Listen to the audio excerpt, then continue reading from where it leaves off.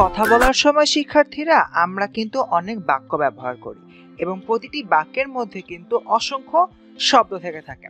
ঠিক এই জায়গা থেকে যদি আমরা চিন্তা করি এক একটি বাক্যে যে পরিমাণ শব্দগুলো রয়েছে, প্রতিটি শব্দ নিয়ে এক একটি আমার কিন্তু বাক্য গঠিত হয়ে যাচ্ছে। কিন্তু কথা হলো, এই যে শব্দগুলো আছে অনেক সময় দেখা যায় যে কিছু কিছু শব্দ আমরা যদি একত্রে না বলি, তাহলে বাক্যের ঠিক ওই জায়গাতে ঠিকঠাক মতো আমাদের মনের ভাবটি প্রকাশ হয় না। এটিকে আমরা মূলত একদম সাধারণ ভাষায় বইয়ের কথা ছাড়া স্বাভাবিকভাবে বলতে পারি বাক্যের বর্গ। এবং নবম, দশম শ্রেণি বাংলা দ্বিতীয় পত্র বইয়ের এই গুরুত্বপূর্ণ বিষয়টি নিয়ে ক্লাস দিতে টেনমির স্কুলের তরফ থেকে আমি মাহবুল নাজ পারসিম চলে আসলাম তোমাদের কাছে। তাহলে চলো দেরি না করে আজকের ক্লাসটি এখনই আমরা শুরু করে দিই। শিক্ষার্থীরা লক্ষ্য করো, আজকের ক্লাসের একদম যে শুরুর অংশটি রয়েছে, সেখানে আমরা মূলত বাক্যের বর্গ নিয়ে পড়াশোনা করব এবং বাক্যের বর্গকে আমরা চিনব। দেখো, বাক্যের মধ্যে একাধিক শব্দ দিয়ে গঠিত বাক্যাংশকে বর্গ বলে। আমি একটু আগে কি বললাম যে, কখনো কখনো আমি যে জিনিসটি দেখতে পাবো যে, কিছু কিছু শব্দ যদি আমি একত্রে না বলি, তাহলে দেখা যাচ্ছে যে ঠিক ওই জায়গায় আমি সঠিকভাবে যে আমার অর্থটি রয়েছে, বাক্যে সেটি প্রকাশ করতে পারছি না। এটিই কিন্তু এখানে বলা হচ্ছে বাক্যের মধ্যে যে একাধিক শব্দ রয়েছে এবং এর মাধ্যমে যে বাক্যাংশ গঠিত হয়, সেটিকে আমরা বলতে পারি বর্গ। এবং বর্গ হলো ঘনিষ্ঠভাবে সম্পর্কিত শব্দের গুচ্ছ। এই যে আমার শব্দের গুচ্ছটি সৃষ্টি হবে, এখানে একটি বিষয় অবশ্যই আমাদের মস্তিষ্কে রাখতে হবে, সেটি হচ্ছে তাদের মধ্যে একটি ঘনিষ্ঠ সম্পর্ক অবধারিতভাবে বিদ্যমান থাকবে। এরপর আমরা দেখি বর্গকে আমরা বলতে পারি বাক্যের একক। কেননা মানুষ কথা বলতে গিয়ে শব্দের পরে শব্দ না বসিয়ে প্রায় বর্গের পরে বর্গ বসায়। আদতে শিক্ষার্থীরা, আমি যদি চিন্তা করি এই বর্গটি হচ্ছে কি বাক্যের একক। তার কারণ, আমি যদি ঘনিষ্ঠভাবে সম্পর্কিত শব্দগুচ্ছ একটি বাক্যে না বসাই, তাহলে কিন্তু দিন শেষে ওই বাক্যের যে অর্থ অর্থ কিন্তু আর ঠিক থাকবে না। এবং বাক্য গঠন হওয়ার যে গুণগুলো রয়েছে, তন্মধ্য থেকে বাক্যের গুণগুলো আমার হারিয়ে যাবে। ঠিক এমন একটি জায়গা থেকে, শিক্ষার্থী বন্ধুরা, আমাদের যে বিষয়টি অবশ্যই মাথায় রাখতে হবে, সেটি হচ্ছে আমরা বেশিরভাগ ক্ষেত্রেই শব্দের পরে শব্দ না বসিয়ে বর্গের পরে বর্গ বসাই। যখন আমরা বলি যে একটি বাক্য তখনই গঠিত হবে যখন অর্থবোধক শব্দসমূহ পরপর বসবে। আর এই অর্থবোধক শব্দসমূহ বা শব্দগুচ্ছ তৈরি করার জন্যই মূলত আমরা বর্গটি ব্যবহার করে থাকি।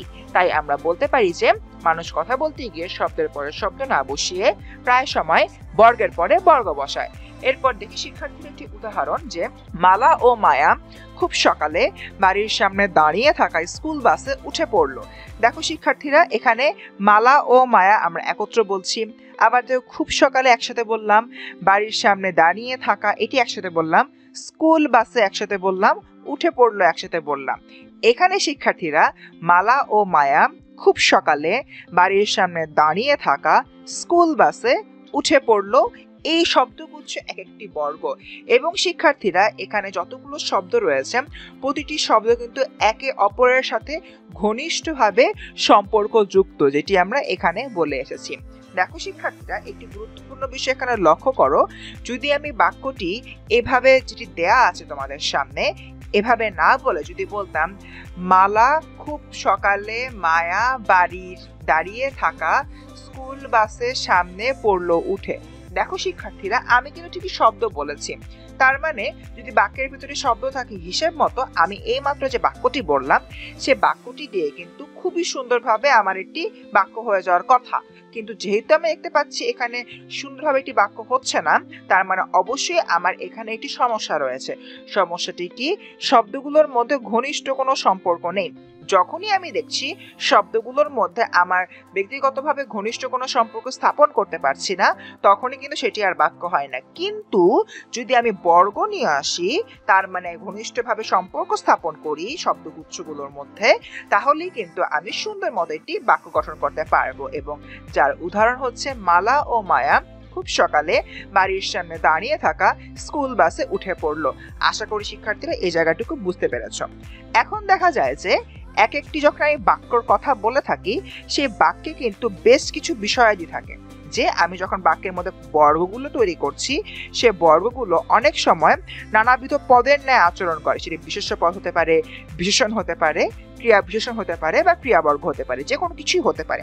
ঠিক এমন একটি জায়গা থেকে, শিক্ষার্থী বন্ধুরা, আমার যে বিষয়টি অবশ্যই মাথায় রাখতে হবে, সেটি হচ্ছে এই এক একটি বর্গ কোন পদের মতো আচরণ করছে? যে পদের মতো আচরণ করবে, ওই বর্গটির নাম ওই পদ অনুযায়ী হবে। যেমন, মালা ও মায়া, এটি হচ্ছে দুইজন ব্যক্তির নাম। তাহলে অবশ্যই মালা ও মায়া হবে বিশেষ্য বর্গ। আবার দেখো, স্কুল বাসে। স্কুল এটি জায়গার নাম, বাস এটি যানবাহনের নাম। ঠিক এমন একটি জায়গা থেকে স্কুল এবং বাস দুটিই কিন্তু হবে আমার বিশেষ্য। তার মানে স্কুল বাসে হবে আমার বিশেষ্য বর্গ। এরপর দেখো, বাড়ির সামনে দাঁড়িয়ে থাকা, এটি হলো গিয়ে মূলত আমার বিশেষণ বর্গ এবং খুব সকালে এটি আবার ক্রিয়া বিশেষণ বর্গ। কেন? কেন বাড়ির সামনে দাঁড়িয়ে থাকা বিশেষণ বর্গ তার কারণ স্কুল বাসটি যে বাড়ির সামনে দাঁড়িয়ে আছে, এটি দিয়ে কিন্তু এই মুহূর্তে স্কুল বাসটির অবস্থান সম্পর্কে আমি জানতে পারছি। এটি আমার বিশেষণের যে বৈশিষ্ট্য রয়েছে, সেটি প্রকাশ করে। তাহলে শিক্ষার্থী বন্ধুরা, আমরা এখানে যে কাজটি করেছি, সেটি হলো এই বাড়ির সামনে দাঁড়িয়ে থাকা, এটি হবে কি আমার বিশেষণ বর্গ। এরপর দেখো, খুব সকালে অবশ্যই এটি ক্রিয়া বিশেষণ, কারণ খুব সকালে সে মূলত এই স্কুল বাসে ওঠার জন্য নিজে নিজে তৈরি হচ্ছে। অবশ্যই খুব সকালে উঠে পড়ল, এই যে খুব সকালে এর সাথে উঠে পড়ল এর একটি সম্পর্ক রয়েছে। তার মানে এখানে কিন্তু ক্রিয়াটি বিশেষিত হয়েছে আমার খুব সকাল এর মাধ্যমে। তাহলে আমি বলতে পারি, এখানে যে আমার খুব সকালটি রয়েছে, এটি হলো কি আমার ক্রিয়া বিশেষণ এবং উঠে পড়ল, এটিতে আমরা জানি ক্রিয়াবর্গ কারণ এখানে দুটি আমার ক্রিয়া রয়েছে, একটি হলো গিয়ে উঠে আর একটি হলো গিয়ে পড়ল। আশা করি শিক্ষার্থীরা বিষয়টা তোমরা বুঝতে পেরেছ। শিক্ষার্থীরা, এবার আমরা মূলত এই প্রকারভেদগুলো সম্পর্কে জানব। প্রথমে দেখো বিশেষ্য বর্গ এক্ষেত্রে আমি কি দেখতে পাচ্ছি? বিশেষ্যের আগে এক বা একাধিক বিশেষণ বা সম্বন্ধ পদ যুক্ত হয়ে বিশেষ্য বর্গ তৈরি হয়। দেখো, যেমন, অসুস্থ ছেলেটি আজ স্কুলে আসেনি, আমার ভাই পড়তে বসেছে দেখো, শিক্ষার্থীরা, কি বলেছে? বিশেষ্যের আগে এক বা একাধিক বিশেষণ বা সম্বন্ধ পদ যুক্ত হয়ে বিশেষ্য বর্গ তৈরি হয়। আমরা যখন দেখতে পাচ্ছি ছেলেটি, আমি বুঝতেই পারছি এটি একটি বিশেষ্য, আবার দেখো ভাই, এটি দেখো আমরা বুঝতে পারছি এটি হচ্ছে কি বিশেষ্য। কিন্তু তার আগে যদি আমি লক্ষ্য করি, এই যে ছেলেটি রয়েছে, এর আগে আমি যেই শব্দটি দেখতে পাচ্ছি, এটি হলো অসুস্থ। অসুস্থ দিয়ে কিন্তু আমি ছেলেটির অবস্থা বুঝাচ্ছি, তার মানে এটি চলে আসলো বিশেষণ। আবার দেখো, সম্বন্ধ, ভাইয়ের আগে যদি আমি লক্ষ্য করি, তাহলে হচ্ছে গিয়ে আমার, তার মানে ভাইয়ের সাথে আমার সম্বন্ধ বা সম্পর্কটি কি? সে হচ্ছে আমার আপন রক্তের ভাই। তার মানে শিক্ষার্থীরা, আমি কখন বিশেষ্য বর্গ তৈরি করতে পারব? যখন আমার কোনো শব্দের আগে বিশেষণ বা সম্বন্ধ পদযুক্ত হবে। তখনই কিন্তু আমি দিন শেষে বিশেষ্য বর্গ তৈরি করতে পারব। এছাড়া শিক্ষার্থীরা আরও কিছু বিষয়াদি রয়েছে। আবার যোজক দ্বারাও আমি দুইটি বিশেষ্য যুক্ত হয়ে বিশেষ্য বর্গ তৈরি করতে পারি। কীভাবে? রহিম ও করিম। দেখো শিক্ষার্থীরা, এখানে করিম একজন ব্যক্তি, রহিম একজন ব্যক্তি এবং যে ও রয়েছে, ও কিন্তু দিন শেষে আমার একটি যোজক শব্দ। তার মানে শিক্ষার্থীরা, তোমরা হয়তো বুঝতে পারছ, এই সম্পূর্ণ জায়গাটিতে দুইজন ব্যক্তি রহিম এবং করিমকে যুক্ত করা হয়েছে। যোজক ও ব্যবহার করার মাধ্যমে। তার মানে আমরা কিন্তু বলতে পারি যে এখানে আমার একটি বিশেষ্য বর্গ তৈরি হয়েছে এবং রহিম ও করিম বৃষ্টিতে ভিজছে আশা করি শিক্ষার্থীরা তোমরা এই বিষয়টি বুঝতে পেরেছ যে কেন রহিম ও করিম বৃষ্টিতে ভিজছে এখানে রহিম ও করিম আমার বিশেষ্য বর্গ হয়ে যাবে। শিক্ষার্থীরা চলে যাচ্ছে আমাদের পরবর্তী যে বিষয়টি রয়েছে, সেখানে। দেখো, এখানে আমরা পড়ব বিশেষণ বর্গ নিয়ে। আসো বিশেষণ জাতীয় শব্দের গুচ্ছকে বলা হয় বিশেষণ বর্গ। তার মানে আমি যখন দেখব শব্দের যে গুচ্ছটি রয়েছে, সেটি বিশেষণের বৈশিষ্ট্য প্রকাশ করছে, তখন সেটি হয়ে যাবে আমার বিশেষণ বর্গ। যেমন, আমটা দেখতে ভারী সুন্দর, ভদ্রলোক সত্যিকারের নির্লভ পোকায় খাওয়া কাজ দিয়ে আসবাব বানানো ঠিক নয়। দেখো শিক্ষার্থীরা, আমটা দেখতে ভারী সুন্দর, এখানে যে আমার সুন্দর রয়েছে, এটি অবশ্যই একটি বিশেষণ। নির্লোভ এটিও অবশ্যই একটি বিশেষণ। আবার পরবর্তীতে আমি দেখতে পাচ্ছি পোকায় খাওয়া, কাঠ দিয়ে আসবাব বানানো ঠিক নয়। এখানে কিন্তু পোকায় খাওয়া, এটিও কিন্তু হচ্ছে কি আমার বিশেষণ। তার কারণটি কি শিক্ষার্থীরা? আমি এখানে কাঠের অবস্থাটা বোঝাচ্ছি যে কাঠটা আসলে নষ্ট হয়ে গিয়েছে, কারণ এটি পোকা দ্বারা খাওয়া হয়েছে। আবার দেখো, এই যে সুন্দর রয়েছে, সুন্দরের আগে যখন আমি ভারী চোখ করলাম, ফলে যেটি হলো, আমার যে সুন্দরটি রয়েছে, এটির উপরে আমি আরও জোর প্রদান করতে পারছি। অর্থাৎ এটি আসলে অনেক সুন্দর বা এমন কিছু একটা বোঝাচ্ছি। তার মানে এখানে ভারী এবং সুন্দর এই দুইটি মিলে হয়ে গিয়েছে আমার বিশেষণ বর্গ।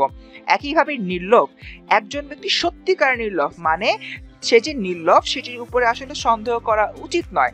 এই বিষয়টি প্রকাশ করতে মূলত আমার নির্লভের আগে আমি সত্যিকার এটি ব্যবহার করেছি। তার মানে এটিও কিন্তু হচ্ছে আমার আরেকটি বিশেষণ বর্গ। একইভাবে পোকায় খাওয়া কাঠ, এখানে কাঠের আমি অবস্থাটা বুঝাচ্ছি। পোকায় খাওয়া এই দুটো শব্দগুচ্ছ ব্যবহার করার মাধ্যমে, তার মানে শিক্ষার্থীরা আমি বুঝতেই পারছি যে এটি হলো গিয়ে আমার একটি বিশেষণ বর্গ। আশা করি শিক্ষার্থীরা তোমরা ধরতে পেরেছ কোনগুলো আমার বিশেষণ বর্গ হিসেবে পরিচিতি লাভ করবে। এবার আমরা পড়ব শিক্ষার্থীরা ক্রিয়া বিশেষণ বর্গ। দেখো, যে শব্দগুচ্ছ ক্রিয়া বিশেষণ হিসাবে কাজ করে, তাই ক্রিয়া বিশেষণ বর্গ বলে। আসলে শিক্ষার্থীরা, সরাসরি আমি সংজ্ঞাটি পড়ে এখানে উদাহরণ না দেখলে বুঝতে পারব না কোনটি ক্রিয়া বিশেষণ বর্গ। আসো, সকাল আটটার সময় সে রওনা হলো। তারপর আমরা দশ নম্বর প্ল্যাটফর্মে গিয়ে দাঁড়ালাম। আমি সকাল থেকে বসে আছি। বেঁচে থাকার মতো সামান্য কয়টা টাকা বেতন পাই। সে খেয়ে আর ঘুমিয়ে কাটাচ্ছে। শিক্ষার্থীরা, আমার আগে দেখতে হবে, আমার যে ক্রিয়াটি রয়েছে, ক্রিয়ার আগে কোনো প্রকার বিশেষণ এসেছে কিনা বা ক্রিয়াটি কোনো প্রকার বিশেষণ দ্বারা বিশেষিত হয়েছে কিনা। যদি এমনটি হয়ে থাকে, তাহলে সেটি হবে গিয়ে আমার ক্রিয়া বিশেষণ বর্গ, বা সেই যে বিশেষণটুকু রয়েছে, সেটিকে আমরা ক্রিয়া বিশেষণ বর্গ বলতে পারব। আমার প্রথম যে উদাহরণটি ছিল, এটি হচ্ছে সকাল আটটার সময় রওনা হলো। দেখো শিক্ষার্থীরা, এখানে যে রওনা, এটির সাথে কিন্তু সকাল আটটার একটি সরাসরি সম্পর্ক বিদ্যমান। কীভাবে এটি সরাসরি সম্পর্ক বিদ্যমান? যে সে ঠিক সকাল যে আটটা রয়েছে, আটটার সময় তার রওনা হওয়ার কাজটি করেছিল। তার মানে এই রওনা হওয়ার বিষয়টি বিস্মিত হয় সকাল আটটার সময় এই শব্দগুচ্ছ দ্বারা। তার মানে এখানে আমার এই সকাল আটটার সময় হচ্ছে ক্রিয়া বিশেষণ বর্গ। এরপর দেখো, তারপরে আমরা দশ নম্বর প্ল্যাটফর্মে গিয়ে দাঁড়ালাম। আমার যে দাঁড়ানোটি রয়েছে, এর সাথে কিন্তু আমার দশ নম্বর প্ল্যাটফর্মটা সম্পর্কযুক্ত। কীভাবে? আমি কোথায় গিয়ে দাঁড়িয়েছি?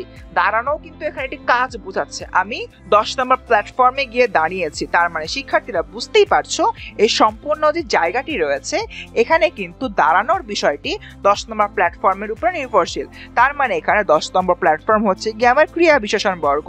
এরপর দেখো, আমি সকাল থেকে বসে আছি। এই যে আমার বসে থাকার বিষয়টা, এটা কিন্তু সকালের সাথে সম্পর্কযুক্ত যে, আমি সকাল থেকে দুপুর গড়িয়ে যাচ্ছে, এখনও পর্যন্ত বসে আছি। তার মানে আমার বসে থাকার যে সময়সীমাটা সকাল থেকে শুরু হয়ে এখনও পর্যন্ত চলছে। তার মানে শিক্ষার্থীরা, এখানে আমি কতক্ষণ সময় ধরে বসে আছি বা কি পরিমাণ সময় ধরে বসে আছি সেই বিষয়টি প্রকাশ করছে। তার মানে এখানে যেহেতু বসে আছি আমার ক্রিয়া, তার মানে সকাল থেকে যেহেতু আমি বলছি, তার হলে এখানে সকাল থেকে হবে গিয়ে আমার আদতে ক্রিয়া বিশেষণ বর্গ। পরবর্তী দেখো শিক্ষার্থীরা বেঁচে থাকার মতো সামান্য কয়টা টাকা বেতন পায়। এই শিক্ষার্থীরা বেতন পাওয়ার বিষয়টা, এটার সাথে কিন্তু বেঁচে থাকার মতো এটি কিন্তু সম্পর্কযুক্ত। কারণ শিক্ষার্থীরা বেঁচে থাকার জন্য আমার অবশ্যই টাকা লাগবে এবং সে টাকা পাওয়ার বিষয়টি কিন্তু বলছে। তার মানে টাকা পাওয়া, এটা একটি ক্রিয়া, এটির সাথে বেঁচে থাকার মতো এই বিষয়টি সম্পর্ক যেহেতু রয়েছে, তার মানে আমি বলতে পারি এই বেঁচে থাকার মতো বিষয়টিও হচ্ছে আমার একটি ক্রিয়া বিশেষণ বর্গ। এরপর দেখো সে খেয়ে আর ঘুমিয়ে কাটাচ্ছে, তার মানে তার দিন কাটানোর উপায় কি বা পদ্ধতি কি? খেয়ে আর ঘুমিয়ে। তার মানে এক্ষেত্রে আমি এই কাটাচ্ছে যে ক্রিয়াটি রয়েছে, এটিকে বিস্মিত করছি। খেয়ে আর ঘুমিয়ে এর মাধ্যমে তার মানে এটি হচ্ছে আমার ক্রিয়া বিশেষণ বর্গ। আশা করি শিক্ষার্থীরা বুঝতে পেরেছ কোনগুলো আমার ক্রিয়া বিশেষণ বর্গ এবং কোনগুলো আমার ক্রিয়া বিশেষণ বর্গ নয়। এরপর দেখো শিক্ষার্থী বন্ধুরা, আমরা যদি পরবর্তী তাকে সেটা হচ্ছে ক্রিয়া বর্গ বাক্যের বিধেয় অংশের ক্রিয়া প্রায় ক্ষেত্রে ক্রিয়া বর্গ তৈরি করে। তার আগে আমাদের বুঝতে হবে বিধেয় কি, উদ্দেশ্য কি? উদ্দেশ্য বাক্যে উদ্দেশ্য করে কিছু যদি বলা হয়ে থাকে, সেটি।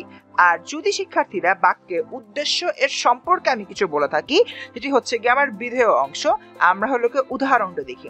অস্ত্রসহ সৈন্যদল এগিয়ে চলছে। এখানে অস্ত্রসহ সৈন্যদল এটি হচ্ছে গিয়ে আমার উদ্দেশ্য। ঠিক তার পাশাপাশি যদি আমি বলি, অস্ত্রসহ সৈন্যদল এগিয়ে চলছে, তার মানে এই যে অস্ত্রসহ সৈন্যদলটি আছে, তাকে উদ্দেশ্য করে বলছি তারা এগিয়ে চলছে। তার মানে এই যে অংশটুকু রয়েছে, এটি হচ্ছে গিয়ে আমার বিদেহ। তার মানে শিক্ষার্থী বন্ধুরা, দেখো, এগিয়ে চলছে। এখানে কিন্তু দুটি ক্রিয়া পাশাপাশি অবস্থান করছে। তার মানে এটি হচ্ছে গিয়ে আমার একটি ক্রিয়াবর্গ। একইভাবে সে লিখছে আর হাসছে। সে তার সম্পর্কে বলা হচ্ছে সে হলো লিখছে আর হাসছে। তার মানে লেখা এবং হাসা দুটি ক্রিয়া এখানে পাশাপাশি সম্পাদিত হচ্ছে এবং শুধু তাই নয়, শিক্ষার্থীরা এখানে লিখছে আর হাসছে এর মধ্যে ঘনিষ্ঠটি সম্পর্ক বিদ্যমান। তাই লিখছে আর হাসছে হচ্ছে কামাইটি ক্রিয়াবর্গ। একইভাবে সে অনেকক্ষণ দাঁড়িয়ে থাকার পর বসে পড়ল। তার মানে সে অনেকক্ষণ দাঁড়িয়েছিল, এখন বসে পড়ল বসে এবং পড়া। এর মধ্যে ঘনিষ্ঠ সম্পর্ক বিদ্যমান, তাই এটিও একটি ক্রিয়াবর্গ। আবার একই সাথে বসে এবং পড়া হচ্ছে কি ক্রিয়া। তাই একে আমরা ক্রিয়াবর্গ বলতে পারি। আবার দেখো সব শেষে বাচ্চাটা অনেকক্ষণ ধরে চিৎকার করছে। অবশ্যই চিৎকার এবং করছে, এর মধ্যে আমার ঘনিষ্ঠ সম্পর্ক বিদ্যমান। আর যেহেতু এর মধ্যে ক্রিয়ার ভাবটি প্রকাশ করছে, তার মানে আমি বলতে পারি এটি হচ্ছে কি আমার ক্রিয়াবর্গ। আশা করি শিক্ষার্থীরা তোমার ক্রিয়াবর্গের বিষয়টিও বুঝতে পেরেছ। তার মানে শিক্ষার্থীরা, আমরা যে বিষয়টি বুঝতে পারলাম, সেটি হচ্ছে আমার মোট বিশেষ্য ক্রিয়াবর্গ, বিশেষণ ক্রিয়াবর্গ, ক্রিয়া বিশেষণ বর্গ এবং ক্রিয়াবর্গ। এই মোট চারটি বর্গ নিয়ে বাংলা ব্যাকরণে আলোচনা করা হয়। আশা করি তোমরা সবাই এই বিষয়টি বুঝতে পেরেছ। এবার আমরা ক্লাসের একদম শেষ অংশে চলে এসেছি এবং এখানে আমরা সঠিক উত্তর টিক চিহ্ন দিব। আসো। বাক্যের মধ্যে একাধিক শব্দ দিয়ে গঠিত বাক্যাংশকে কি বলে? অবশ্য শিক্ষার্থীরা এটি নিয়ে ভাবার কিছু নেই। সঠিক উত্তর ক, এটি হবে গিয়ে বর্গ। যে একাধিক শব্দ নিয়ে আমি যদি কোনটি বাক্যাংশ গঠন করি, সেটি হচ্ছে গিয়ে বর্গ। যেরকম একদম শুরুতে বলেছিলাম মায়া ও মালা খুব সকালে বাড়ির বাইরের সামনে দাঁড়িয়ে থাকা স্কুল বাসে উঠে পড়ল। তার মানে এখানে মায়া ও মালা খুব সকালে বাড়ির সামনে দাঁড়িয়ে থাকা স্কুল বাসে উঠে পড়ল। এই প্রতিটি কিন্তু একাধিক শব্দ রয়েছে এখানে এবং এদেরকে আমরা বলতে পারি বর্গ। এরপরে দেখো শিক্ষার্থীরা, বর্গ আসলে কি? বাক্যের বিন্যাস? ধ্বনিগুচ্ছ? বর্ণের সমষ্টি নাকি শব্দের গুচ্ছ শিক্ষার্থীরা এই প্রশ্নের উত্তরটি আমি দিচ্ছি না। তোমরা যারা এতক্ষণ ধরে আমার ক্লাসটি মনোযোগ সহকারে করেছ, তারা দয়া করে কমেন্ট সেকশনে চলে যাও এবং দ্রুততার সাথে প্রশ্নটির উত্তরটি দিয়ে ফেলো। এবং পরবর্তীতে তোমাদের প্রশ্নের উত্তর দেওয়া শেষ হয়ে গেলে আমি নিজে ব্যক্তিগতভাবে এসে কমেন্ট সেকশনে সঠিক উত্তরটি জানিয়ে দিব। এবং শুধু তাই নয়, যারা যারা সঠিক উত্তর দিবে, তাদের কমেন্টে গিয়ে তাদেরকে আমি ব্যক্তিগতভাবে ধন্যবাদ জানিয়ে আসব। আশা করি তোমরা সবাই এই প্রশ্নের উত্তরটি সঠিকভাবে দিতে পারবে। শিক্ষার্থীরা এবং এর মধ্য দিয়ে আজকের ক্লাসটি এখানে শেষ হয়ে গেল। দেখা হচ্ছে পরবর্তী কোনো ক্লাসে। সেই পর্যন্ত সবাই ভালো থাকুন আসসালামু আলাইকুম এবং অবশ্যই টেন মিনিট স্কুলের অ্যাপ ডাউনলোড করে টেন মিনিট স্কুলের পাশে থেকো।